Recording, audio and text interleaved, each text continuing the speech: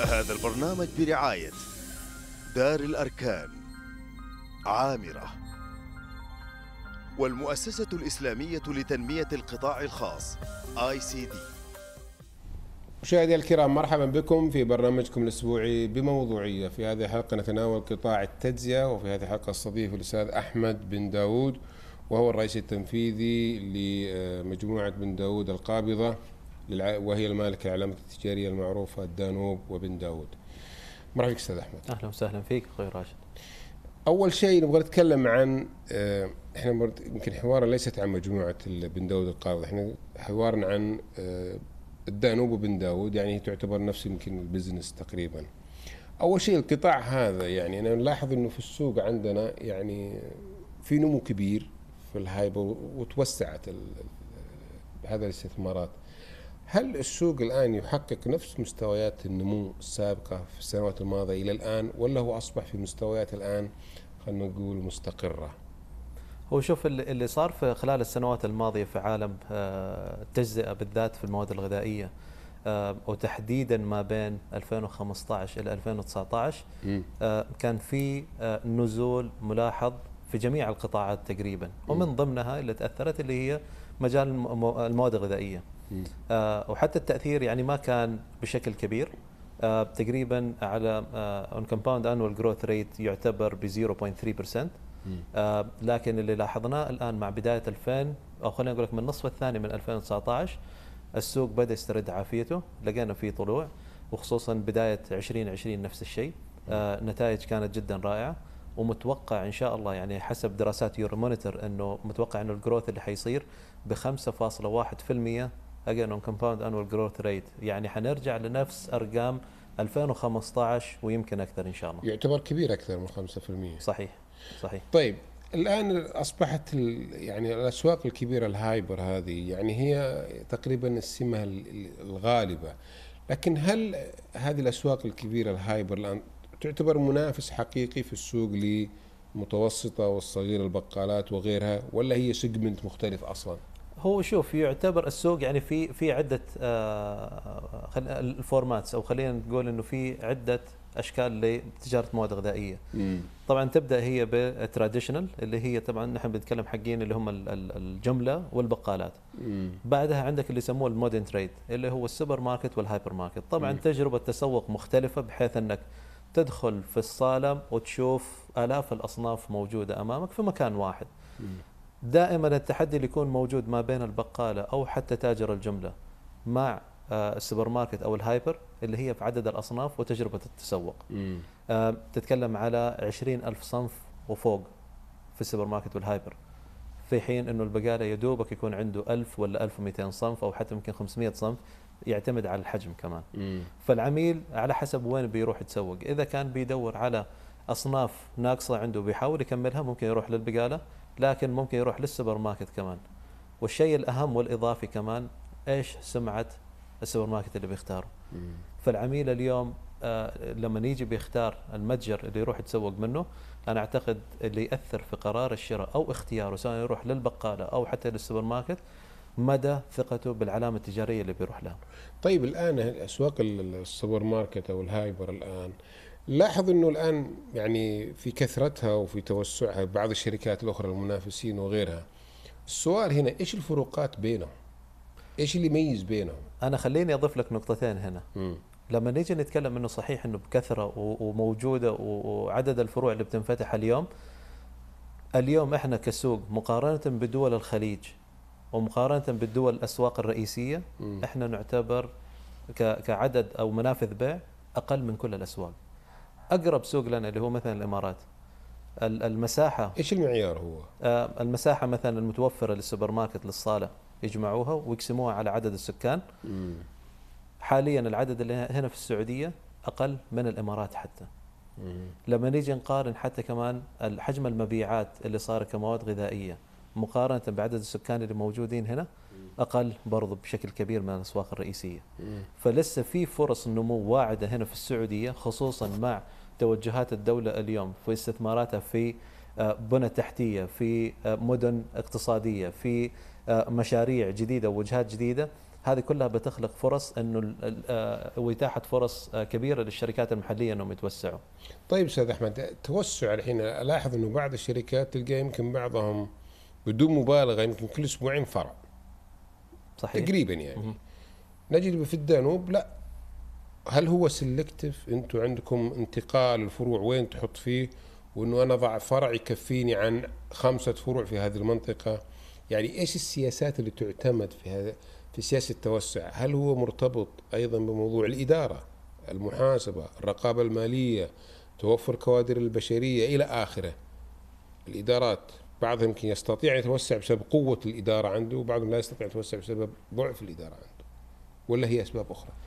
هي طبعا تعتمد أول شيء على استراتيجية الشركة نفسها وخطتها التوسعية. امم لكن اليوم لما نجي نتكلم على بن داود والدانوب إيش خطتنا التوسعية إحنا؟ مم. من البداية خطتنا في التوسع مش على أساس إنه أفتح فروع بعدد كبير وأغطي جميع مدن المملكة. مم. الهدف لما نجي بتوسع بروح بطرق مدروسة. مثلا بداية بن داود والدانوب من المنطقة الغربية. مم. أول ما فتحنا أول فرع في الرياض كان الحياة مول. قعدنا ثلاث سنوات خليناه فرع واحد بس.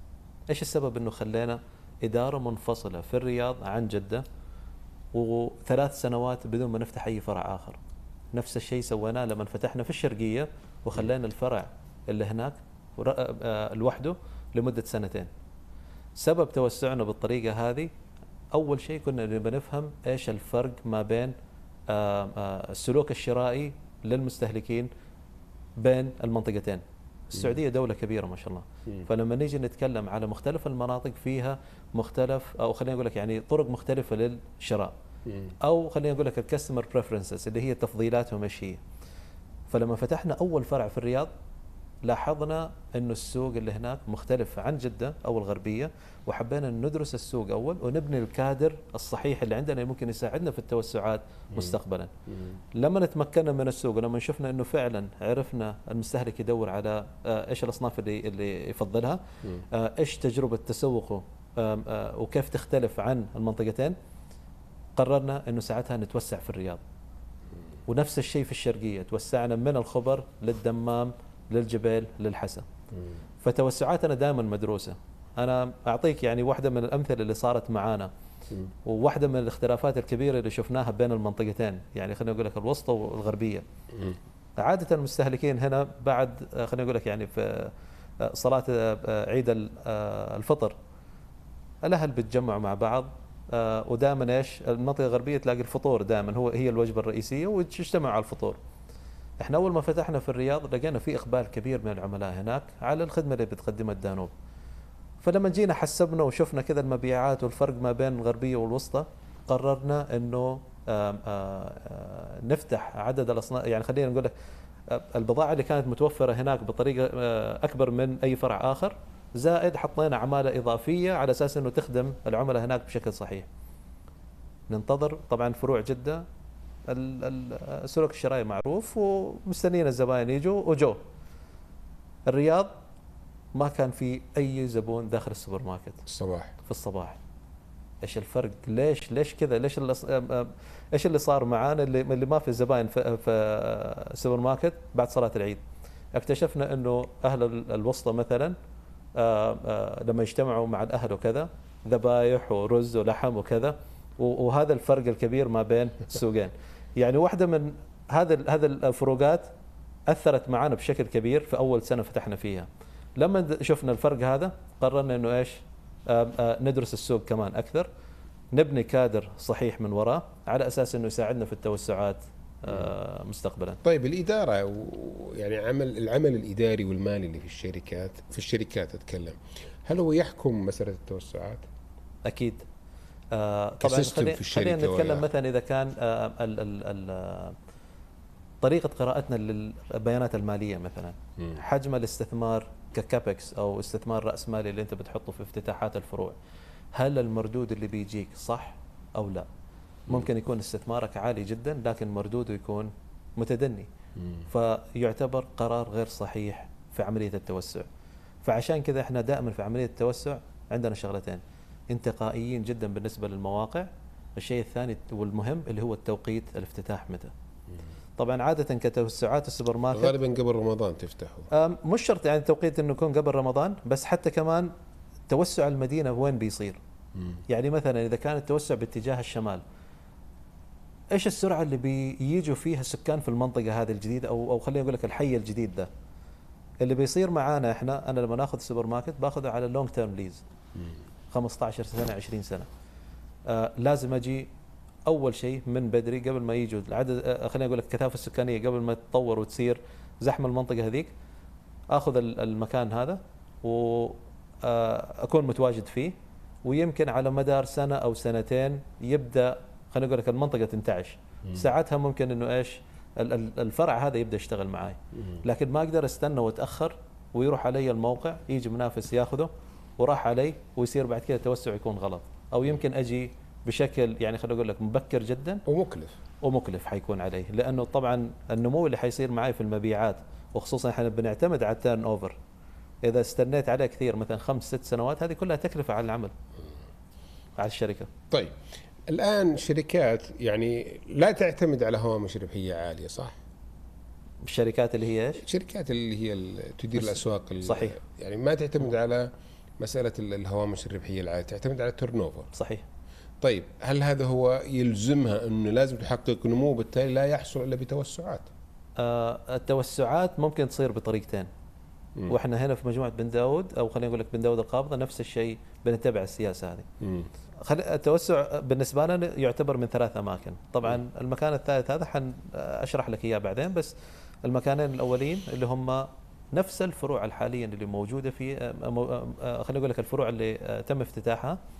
آه، طريقة إنك تزيد مبيعاتك بحيث إنه تكون قريب جدا من تفضيلات المستهلك أو خليني أقول لك اختياراته مشي عادة لما نيجي نتكلم عن ال disturbance أو ال disruption خلينا نتكلم عن التغيرات السريعة اللي بيصير آه، بتصير في الأسواق سواء كانت في سلوك الشراء للمستهلكين أو حتى من ناحية التقنية أو حتى من ناحية التجهيزات اللي ممكن تصير في الفروع. آه، بنسمع دائما إنه العميل بدأ يتحول إلى منتجات اللي هي تعتبر vegan products أو إنها تعتبر dairy free products اللي هي خالية من آه، منتجات آه، الحليب. آه، أو إنه يكون مثلا بدأ يتحول إلى المنتجات العضوية. يعني healthy أكثر. صحيح. ممكن يكون healthy وممكن تكون تفضيلات هي. آه، في منتجات كثيرة اليوم بدأت تطلع اللي هي بديله للحوم من أساس يكون نباتي مثلا. فهذا كل التغييرات هذه اللي بتصير في سلوك المستهلكين أو خلينا نقول لك في سلوك السلوك الشرائي يجبرنا إنه نعدل ال product mix أو تشكيلة الأصناف اللي موجود داخل الصالات. طيب خلينا نكمل بعد الفاصل. فاصل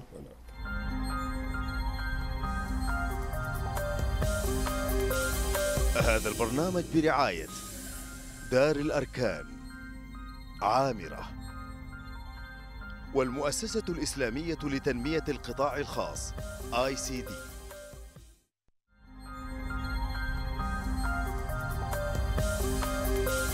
هذا البرنامج برعاية دار الأركان عامرة. والمؤسسة الإسلامية لتنمية القطاع الخاص آي سي دي. مشاهدينا الكرام مرحبا بكم. نستكمل حوارنا مع الأستاذ أحمد بن داود وهو الرئيس التنفيذي لمجموعه بن داود القابضة المالكة العلميتين المعروفة دانوب وبن داود. قطعتك قبل الفاصل أنا؟ إحنا غطينا الجزء اللي هو إيش؟ كيف نحاول نستجيب للتغييرات اللي بتصير في السلوك الشرائي للمتسوقين. فدائما اللي بنحاول نسويها هنا لما نستجيب لها بالتغييرات هذه نعدل دائما في ال product mix أو تشكيلة الأصناف اللي تكون موجودة عندنا في الصالات. طبعا الشيء هذا بيساعدنا دائما إنه يكون في تواصل أكثر بيننا وبين العملاء ويساعدنا إنه نحسن مبيعاتنا أو خلينا نقول لك نحسن حجم السلة مع العميل. طبعا كل ما عرفت أكثر كل ما عرفت أكثر عن المنتجات اللي بيشتريها وكل ما أقترح له منتجات إنه يشتريها أنا أشوف لاحظ إن أنت مركز على ال consumer behaviors كثير. بشكل كبير بشكل كبير لأنه هو اللي يفرق يعني هي, هي العلامة الفارقة هذا مو كذا قاعدين تحللوه أنتم تفلترونه صح؟ هو التحليل على أساس إنه نحسن ال experience تبعه أو كيف- تجربة كيف التسوق تحللونه أنتم من خلال مشترياته هو و... أو قيمة مشترياته ولا شلون؟ هي من ناحيتين نحن نعرفها مم. طبعا حركته داخل الصالات السوبر ماركت مم. كيف بيتحرك فين بيروح إيش المنطقة اللي وقف فيها وكذا من الناحيه الثانية كمان اللي هي الأصناف اللي بيشتريها مم. فهذا نوع واحد من أنواع النمو اللي إحنا بنركز عليه بشكل كبير. النوع الثاني إني أنا بستجيب لرغبات عملائي، يعني مثلا ماني متواجد في منطقة معينة أو حي معين. أروح أتواجد هناك فيه وأكون قريب من عملائي. بس هل عندي فرع قريب منه ولا لا؟ هل حيأثر على مبيعات الفرع الثاني ولا لا اللي عندي إذا كان قريب منه؟ طبعا هذه الأشياء كلها بناخذها في حسبان وغير كذا كمان التوسعات أو النمو اللي ممكن يصير من فين؟ هذه كلها مهمة بالنسبة لنا. طيب مين أقوى أنتم ولا الوكلاء؟ يعني إحنا دائما وكلاء مثلا رز في معينين وكلاء الحليب أو خلينا نقول المصنعين ايا كان الطرف يعني للحليب للشاكلت لل ايا كانت المنتجات وأنتم من يفرض هل موجود أصلا هذا الصراع أصلا بين إنه الوكيل وما بين أنا كم كمنفذ بيع أنت تخضع لشروطي أعطيني كذا لا أنت تحتاج سلعتي أنا أفرض عليك شروطي شوف لو جينا تكلمنا عن آه، مجال تجارة التجزئة مم. دائما الكلام اللي بيصير أو حتى كمان آه، آه، اللي دائما بيتكلموا عنه إنه لازم كيف إنك تكون عندك ال upper hand مقابل الموردين أو الوكلاء. إحنا ما نشتغل بالطريقة هذه. يعني من أول فرع افتتحناه إلين اليوم وصلنا 71 فرع أسلوبنا وطريقتنا مختلفة، إحنا نعتبر الموردين شركائنا في العمل. أنا لكم براند خاص أنتم في منتجات؟ ك private label مم. إحنا ما عندنا آه، استراتيجية آه، خلينا نقول لك كبيرة بالنسبة لل private label يعني ما عندكم آه. رز الدانوب وسكر الدانوب ممكن شوف تلاقي هذه. بعض الأصناف المعينة زي مثلا المناديل الموية مثلا كتسويق لكن آه، آه، الاستراتيجية اللي اتخذتها الشركة ما نبي نزاحم الوكلاء. أنا أركز على تجربة التسوق الخاصة بالعميل وخلي غيري هو اللي يفكر كيف يطور المنتجات. مم. يعني هذه هذه تيجي طبعا جزء من فلسفتنا في العمل. مم.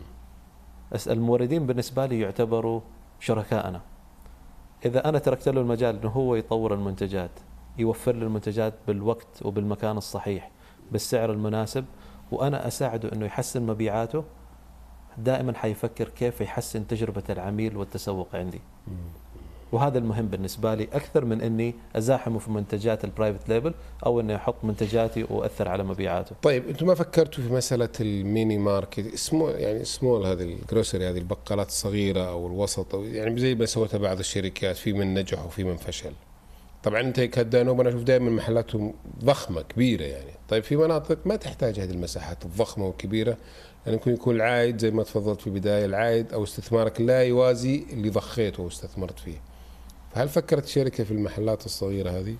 شوف الاستراتيجية موجودة من أول مم. على أساس إنه نتوسع وندخل في المجال هذا مم. لكن قررنا إنه نأجل الموضوع بشكل آه، مؤقت إلى أن آه، نغطي آه، تواجدنا في الاماكن الرئيسية عن طريق فروع اللي هي ال supermarket وال hypermarket model فبس نتواجد ونوصل للمكان اللي إحنا شايفين إنه خلاص غطينا السوق بطريقة صحيحة ساعتها بنفكر نخش في المجال هذا. بس إلى الآن لسه ما في خطة واضحة. طيب أنا لاحظت في بعض الدول الأوروبية وممكن بعض وصحح لي إنه زي السوبر ماركت أو ال hyper هم سوبر ماركت مش hyper. غالبا مساحاتهم يعني تقدر تقول بالكثير 500 متر يمكن 300 متر مو ضخمة زي ما نشوف عندنا. وبالتالي ما عنده محلات جنبه جنبه coffee shop وما أدري مين ما أبغى أسمي brandات معروفة يعني. coffee و ice cream وقصص. لا هو لوحده. وعنده ال parking وعنده كذا يعني simple يعني. هنا مش موجود عندنا إحنا طيب. يعتمد على السوق اللي شفت فيه الموديل ده. امم إحنا بالنسبة لنا وخلينا نتكلم في عالم ال retail. أي شيء تحت ال 1500 متر امم نعتبره convenience أو بقالة. تحت 1500 تحت 1500 من 1500 إلى تقريبا 4000 نعتبره سوبر ماركت مهم. 4000 فما فوق نعتبره hyper أنتوا كلها hyper إحنا اللي عندنا ما بين السوبر ماركت وال hypermarket okay. ما إلى الآن لسه ما عندنا آه، أي تواجد في ال category اللي هو يعتبر ال convenience. أنت جيت تطرقت إلى موضوع, اللي هو إنك تشوف في بعض الدول دائما الموجودة عندهم سوبر ماركتات اللي هي الصغيرة. مم. طبعا يعتمد على المكان اللي أنت شفت فيه.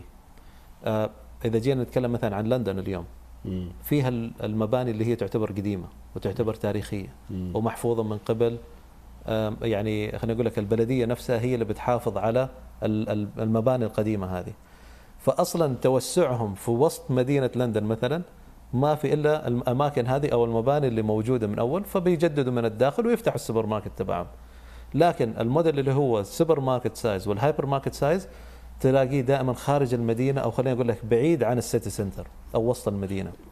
ليش انتهت البقالات عندنا اللي بوسط الحارة؟ ما عاد في الحين يعني ما أشوفها كثير يعني. البقالات؟ يعني مثلا إحنا نشوفها بزاوية شارع رئيسي وكذا موجود البقال لكن جوا الحارة ما عاد في.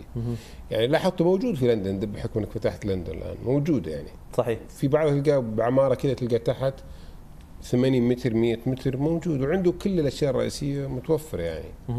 انت إيش رأيك هذه جيدة ولا غير جيدة كفكرة يعني؟ هي شوف لو جينا تكلمنا على تواجد البقالات داخل الأحياء مفروض أنها تكون آه، يعني إذا كانت في اشتراطات معينة لها وطبقت الاشتراطات هذه بالعكس شيء صحي وفي مصلحة العميل أو خلينا نقول لك ال- الناس اللي ساكنين في يعني الحي بدل ما أروح هايبر الدانوب يكون شيء قريب منهم. أركب سيارة وقصة طويلة عريضة أنقطع منه أنقطع منهم منتج معين موية حليب أي. لبن أي شيء. يقدروا يروحوا للبقالة على طول ويشتروها بالعكس هذا في مصلحتهم لكن المشكلة اللي موجودة اليوم واللي الدولة آه، بتحاول تحاربها اللي هي مشكلة التستر مثلا مم. آه، عمالة أجنبية آه، تحت اسم شخص سعودي وهو اللي آه، بيدير آه، يعني يعني بقاله خاصة فيه. طبعا الدولة بتحارب موضوع التستر. هذا الشيء الغلط. لكن كأساس إنه البقاله موجودة داخل حي سكني أو تحت عمارة أو شيء بس لكن باشتراطات وخلينا نقول لك ال- الأنظمة الجديدة اللي اللي أعلنت عنها وزارة التجا- التجارة بما يخص تنظيم التموينات الصغيرة. لو طبقت آه، بنفس المعايير هذه بالعكس أنا اشوفه شيء صحي جدا طيب الدانوب إيش يختلف فيه عن الآخرين؟ الرز الرز عندكم عند الثانيين، الزيت عند الآخرين. إيش الميزة؟ إحنا اللي بنركز فيه مم. ثلاث أشياء رئيسية مم. أول شيء shopping experience أو تجربة التسوق للعميل إيش مقصود يعني بهذا؟ يعني لما نيجي نتكلم على آه، تصميم السوبر ماركت مم. نعطي اهتمام لأدق التفاصيل داخل السوبر ماركت بحيث إنه يضيف لتجربة التسوق. لما نيجي نتكلم على اختيار الأصناف أو تشكيله الأصناف اللي هي موجودة عندنا. كل ما نشوف أي تغير بيصير في سلوك الشرائي للمس... للمتسوقين بنحاول نكون من أوائل الناس اللي بيستجيبوا للتغييرات هذه. الشيء الثالث الخدمة اللي بنقدمها داخل السوبر ماركت. طبعا نحن من ضمن الأشياء اللي دائما بنستثمر فيها بشكل كبير اللي هي الاستثمار في القوى البشرية. أو خلينا نقول لك في الموارد البشرية. مهم جدا وعامل أساسي. في بداية اللقاء ذكرت لك على أساس إنه لما جينا توسعنا في المنطقة الوسطى وحتى في المنطقة الشرقية قررنا نفتح فرع وفرع وقعدنا سنتين وثلاث سنوات.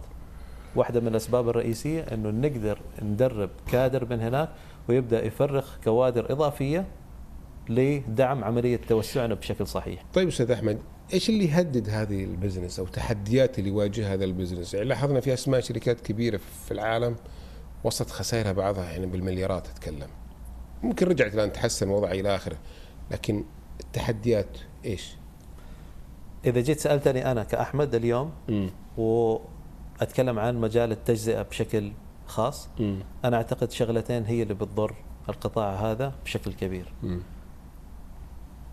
خليني أقول لك ال mindset أو الإدارة اللي بتدير الشركة إذا ما كان فيها استقرار أو ما كانت عندهم كوادر صحيحة لإدارة الشركة بتسبب خسائر كبيرة. هوامش الربحيه دائما آه، خليني أقول لك محدودة. آه، بنعتمد كثير على ال turnover أو ال ال آه، يعني بنعتمد كثير على ال turnover فمهم جدا إنه القرارات اللي نحاول ناخذها في ال business إنها تكون صحيحة بشكل كبير. أي قرار خاطئ أو حتى لو ما كان عندنا استقرار وظيفي موجود داخل الشركة مع كوادر صحيحة أنا أعتقد هذا هذا حيدمر شركات كثير وخصوصا في مجال السوبر ماركت طيب وطبعا الشيء الثاني إيه. اللي بيأثر معك إيه. لما خليني أقول لك مستوى الإيجو يكون عالي جدا وتقول إنه أنا أعرف كل شيء عن القطاع. والمستهلك ما أسمع له هذا من أكبر المخاطر يعني زي اللي معزول عن السوق يعني. يكون معزول وال, وال, وال خليني أقول لك ال- ال- الجاب يكون كبير بينه وبين عملائه، عملائه يبغوا شيء ثاني وهو قاعد يفكر في شيء ثاني، في فرق بين الجملة والتجزئة في قطاعكم فرق كبير. كيف؟ خليني أقول لك الجملة السلوك الشرائي اللي للمتسوقين اللي بيروحوا لتاجر الجملة مختلف كثير عن التجزئة. حق الجملة بيروح بيدور على سعر ما همه الخدمة ما يهمه تجربة تسوق كوانتيتي بالضبط. حتى اختياراته كمان محدودة جدا وأصناف أساسية. يعني ما بيدور على الكماليات ما بيدور على خليني أقول لك ال- الأصناف اللي تكمل يمكن السعر يركز حجم عليه. حجم. سل- آه، سلته بشكل كبير. آه، يعني مثلا إذا جاء بيدور على منتج معين بيدور على مناديل. ما همه أي brand ما همه إيش ال quality تبع المنديل. يهمه كرتون وسعر. في حين إنه زبون السوبر ماركت اللي بيجي منها إنه يهمه يجي مكان نظيف يهمه يجي مكان فيه اختيار يهمه مكان يكون فيه سعر مناسب للخدمة اللي بيقدمها. السؤال الأخير. قبل ما أختم يمكن هذه نص دقيقة أو أقل بعد. هل ال hyper الموجود عندنا السوبر ماركت الموجود عندنا زي أي مكان في العالم؟ أو في شيء ينقصنا؟ إذا جيت أتكلم عن بن داود أو الدانوب تحديدا مم. وبشهادة الناس اللي بيجون ويزورونا هنا مم. يقولوا حتى ما عندنا الشيء هذا لا في أمريكا أو حتى في أوروبا. شكرا لك أستاذ أحمد. أهلا وسهلا. مشاهدينا الكرام شكرا لمتابعتكم. مع السلامة.